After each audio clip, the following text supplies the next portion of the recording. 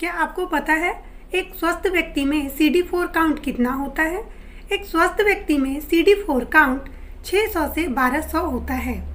यह एक स्वस्थ व्यक्ति के सी डी फोर काउंट की गणना है 600 से 1200 ध्यान रखें, एक स्वस्थ व्यक्ति में सी डी फोर काउंट 600 से 1200 होता है।